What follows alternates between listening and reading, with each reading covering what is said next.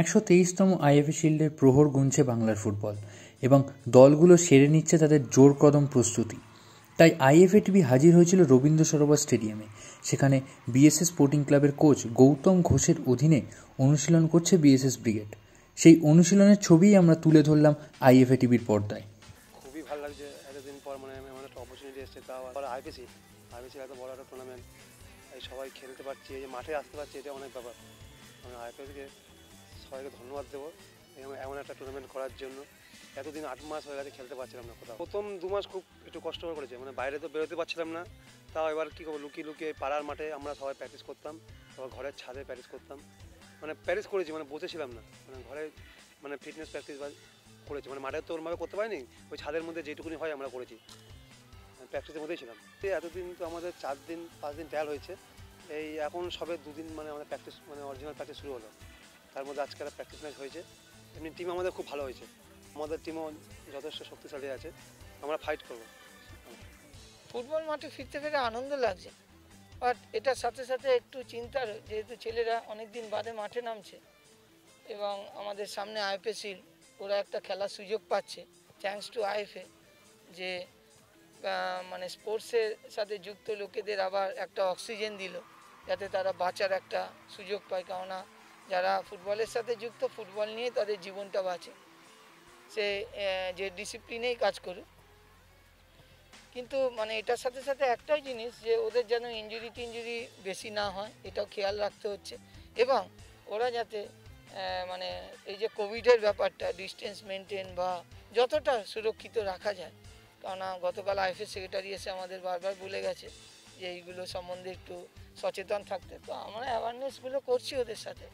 সে দেখা যাক কী তো আমাদের ইন্ডিয়াতে শুধু নয়, এটা অল ওভার ওয়ার্ল্ডে একটা ভীষণ ভীষণ বড় আর কি প্যান্ডামিক চলছে, যেটা যার মধ্যে দিয়ে সত্যি মানে কাটিয়েছি আমরা ছয় সাত মাস আমরা ফুটবলের বাইরে, আর মানে প্রচণ্ড কষ্টের মধ্যে তারপরে মাঠে ফিরতে পেরে সত্যি ভালো লাগছে, আর এর জন্যে ধন্যবাদ জানাই আই, আইএফএকে আইএফএ অফিসিয়ালরা জয়দীপ দা বিশেষ করে যারা আছেন আইএফএতে, তারা এই টুর্নামেন্টটা এই প্যান্ডেমিকের মধ্যে স্টার্ট করেছে। সত্যি ভালো লাগছে, মাঠে ফিরতে পেরে। আর সবাই চেষ্টা করছি, ভালো খেলার। এবং প্রত্যেকে আমরা চেষ্টা করছি হান্ড্রেড পার্সেন্ট প্র্যাকটিসটা করা। আর টিম এবছর খুব ভালো টিম হয়েছে। সবাই চেষ্টা করছে, বাঙালি ছেলে সবাই। এখনও ফরেনার আসেনি। সবাই চেষ্টা করছে হান্ড্রেড পার্সেন্ট প্র্যাকটিস করার হান্ড্রেড পার্সেন্ট ফিট হতে। কলকাতায় এতদিন পরে ফিরেছে অবশ্যই, কিন্তু আমরা তো যারা ফুটবল নিয়ে ভাবে বা ফুটবলে ওপরে যেতে চায়, ভালো করে সাকসেস হতে চায়, তারা নিশ্চয়ই তাদের মানে নিজেকে ফিট রাখার জন্য নিশ্চয়ই বাড়িতে কিছু করতো। সো আমার মনে হয় না সেরকম কোনো অসুবিধা হবে।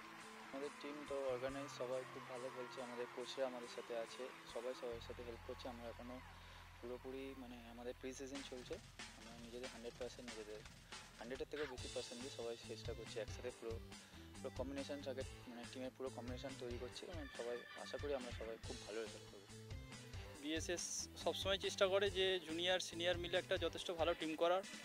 সম্ভবত আমাদের ফরেনারও হয়তো একটা নিয়েছে, আমি এখন নামটা ডিসকাস করছি না। হয়তো সেক্রেটারি বা আমাদের প্রেসিডেন্ট যারা আছে বিএসএস ক্লাবে তারা হয়তো নামটা জানাবে আপনাদের।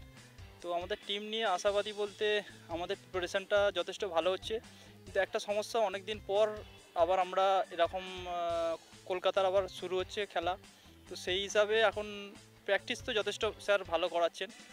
গোলকিপার কোচ আছেন, আমাদের গৌতম স্যার আছেন, সবাই যথেষ্ট ভালো প্র্যাকটিস করাচ্ছে।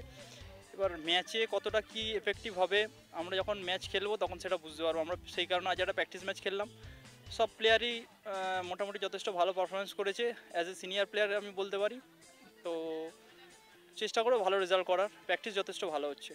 আশা করি ওয়েস্টবেঙ্গলের প্লেয়ারদের সবাই নিজস্ব ক্যাম্প আছে। যে যার ক্যাম্পে নিজস্ব কলকাতা প্র্যাকটিসটা হয়তো বন্ধ ছিল কিন্তু নিজস্ব ক্যাম্পে তারা যে যার মতো প্র্যাকটিস করেছে সেখানে নিজস্ব কোচ আছে। তারা মোটামুটি প্রিপারেশন ছিল বাট কলকাতায় একটা আহ, কলকাতায় যথেষ্ট সবাই জানে যে কলকাতা সবাই বিভিন্ন জেলা থেকে ভালো প্লেয়াররা আসে। এখানে কম্পিটিশানটা অনেক হাই হয়। তো সেই হিসাবে এখানে কম্পিটিশানটা অনেক বেশি হয়তো ক্যাম্পের যেরকম ফিজিক্যাল ট্রেনিংগুলো সেগুলো আমরা করেছি। এমনি কোনো কিছু সেরকম প্রবলেম হচ্ছে না। আস্তে আস্তে সেটা শুধু আমাদের ক্লাব বলে না, আইএফএ, শিল্ডে যারা কলকাতা থেকে ওয়েস্টবেঙ্গল থেকে যেসব টিম খেলছে, আশা করছি সব টিমই সেইভাবে প্রিপারেশান নিচ্ছে এবং প্লেয়াররাও সেইভাবে প্রিপারেশান নিতে পারবে। Best of luck for all West Bengal premier league teams